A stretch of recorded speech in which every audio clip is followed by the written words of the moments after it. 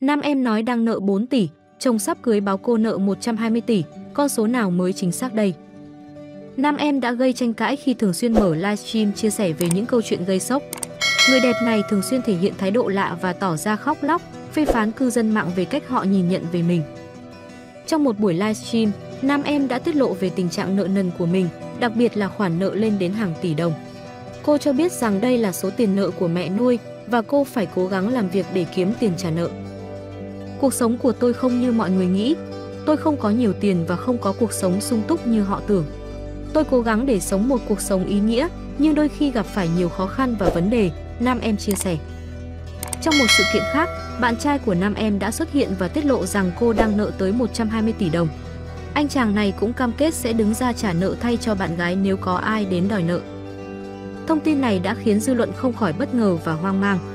Có những ý kiến tỏ ra nghi ngờ về tính chính xác của thông tin và về số tiền nợ thực sự của nam em, bởi mỗi lần cô chia sẻ đều có những biến động không lường trước. Ngoài ra, nam em từng ẩn ý về việc sắp tậu một biệt thự sang trọng để làm tổ ấm mới và thường xuyên chia sẻ về việc sử dụng hàng hiệu và nhận quà đắt tiền từ bạn trai. Cặp đôi này cũng đã công khai mối quan hệ và dọn về sống chung và dự kiến sẽ tổ chức đám cưới trong nửa đầu năm 2024. Cảm ơn các bạn đã quan tâm theo dõi đừng quên đăng ký kênh Việt News để cập nhật tin tức nóng hồi mỗi ngày.